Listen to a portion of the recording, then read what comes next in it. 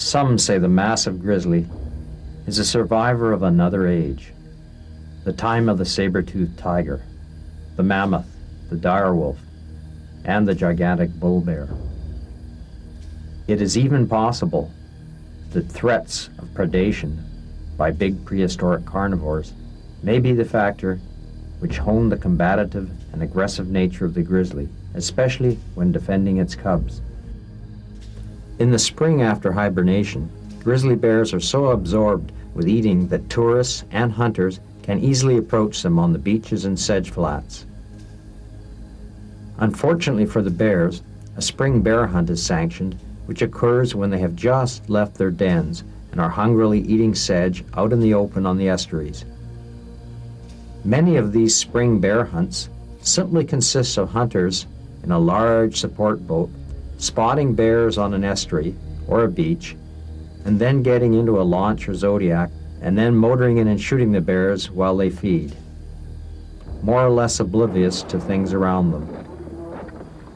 Many conservationists have noted with alarm that many mid-coast river valleys which used to support large grizzly populations and still have viable salmon runs and the old bear trails are showing a haunting lack of recent evidence of the bear's presence.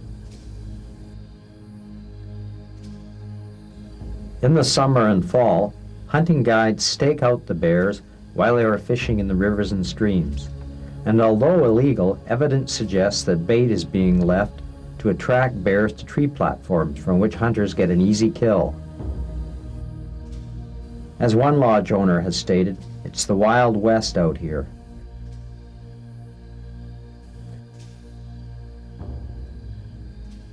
This mid-coast river is one of thousands of rivers and streams along the BC coast which have had their returning salmon runs reduced or destroyed by clear-cut logging.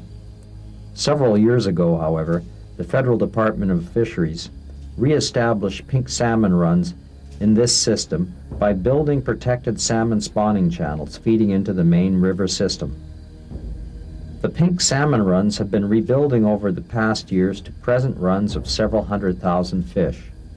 Although the spawning channels were put in mainly for pink salmon, coho and spring are becoming more numerous and the salmon are beginning to repopulate the rest of the river system. Where they have been implemented elsewhere on the coast, these types of salmon enhancement and salmon habitat restoration programs have had very rewarding results and points to the resiliency of the fish if they are given a chance.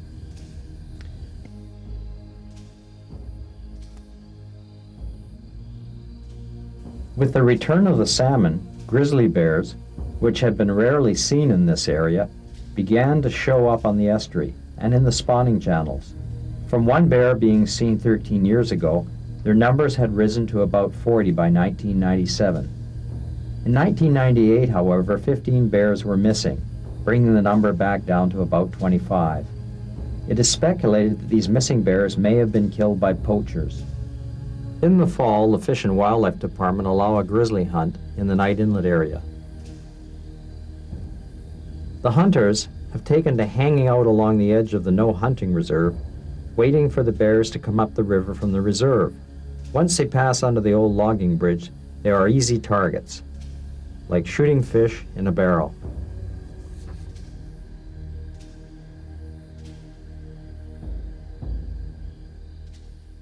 Uh, this is a guide outfitting operation called Trophy West out of Campbell River. Right now they're about uh, 200 feet, less than 200 feet from the edge of a no hunting zone.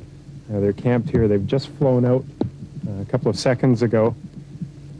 They were in here, uh, came in yesterday at the start of grizzly hunting season. Uh, less than a thousand feet from here, we've got an ecotourism operation going, uh, viewing grizzly bears.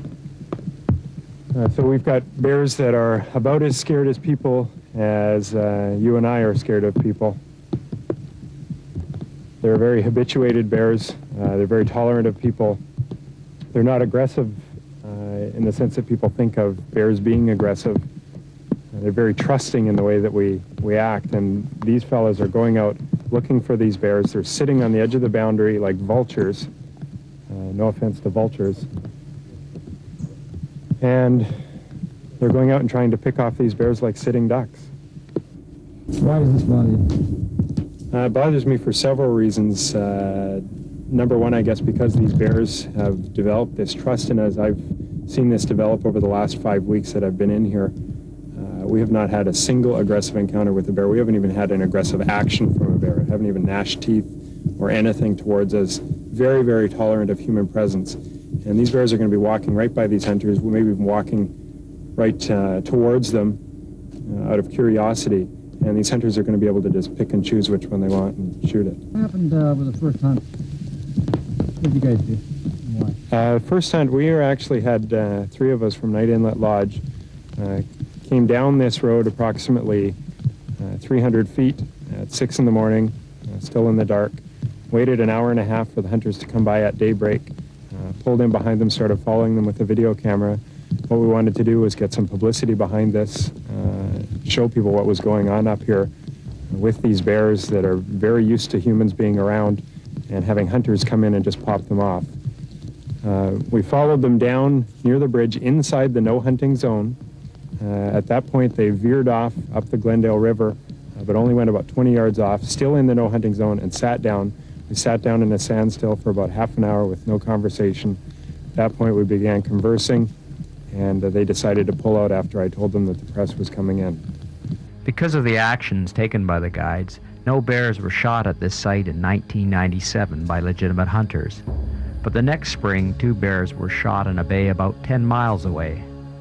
One bear was wounded and made its way back to the estuary, where it was seen limping around with a possible broken shoulder.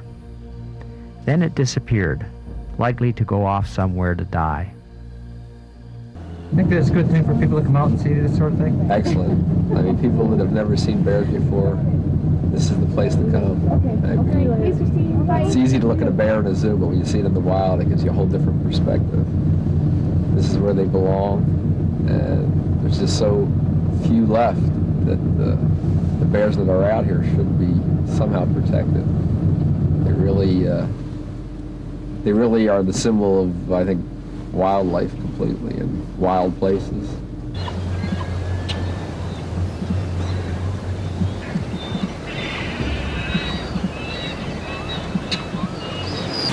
is getting back to nature as much as possible. That's why we came, really.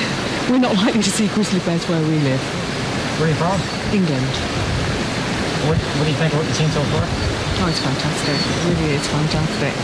Better than we ever imagined possible.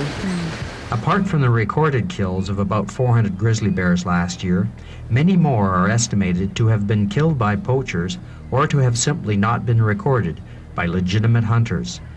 Many conservationists and environmental groups are becoming increasingly concerned that provincial wildlife estimates for grizzly bears along the coast are far too high and are calling for a moratorium on grizzly bear hunting in BC until the true numbers and the true state of the grizzly bear populations in BC are known. The question here at Knight Inlet and all along the midcoast is whether we will give the great bears a chance to survive or whether we will allow them to be hunted and driven into oblivion.